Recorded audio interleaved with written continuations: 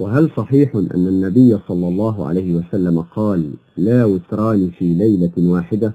وهل يقضى الوتر إذا فات؟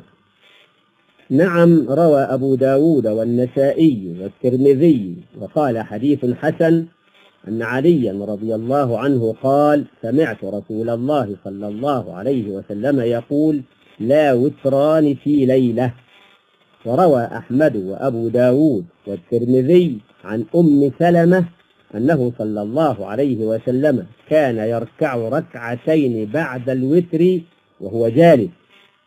قال العلماء من صلى الوتر بعد صلاة العشاء ثم أراد أن يقوم الليل فليصل ما شاء ولكن لا يجوز له أن يوتر لأنه أوتر قبل ذلك. ومن المعلوم أن الوتر يمكن أن يصلى في أي جزء من الليل بعد صلاة العشاء إلى طلوع الفجر. وإذا خشي الإنسان أن تفوته صلاة الوتر يستحب له أن يصليها في أول. وذلك لحديث رواه مسلم وأحمد والترمذي وابن ماجه من ظن منكم ألا يستيقظ آخره أي الليل فليوتر أوله. ومن ظن منكم أنه يستيقظ آخره فليوتر آخره. فإن صلاة آخر الليل محضورة وهي أفضل. ومعنى محضورة تحضرها الملائكة. ولما سأل الرسول صلى الله عليه وسلم أبا بكر رضي الله عنه متى توتر؟ قال توتر أول الليل بعد العتمة أي العشاء.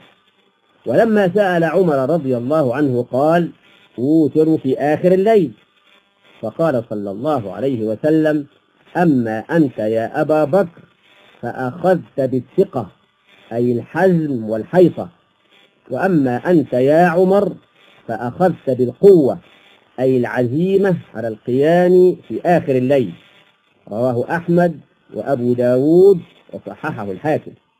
هذا وإذا فاتت صلاة الوتر يمكن قضاؤها كما ذهب إليه جمهور العلماء وذلك لحديث رواه البيهقي وصححه الحاكم إذا أصبح أحدكم ولم يوتر فليوتر وروى أبو داود قوله صلى الله عليه وسلم من نام عن وتره أو نسيه فليصلي إذا ذكره وإسناده صحيح.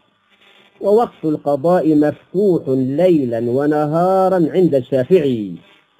ومنعه أبو حنيفة في أوقات النهي عن الصلاة.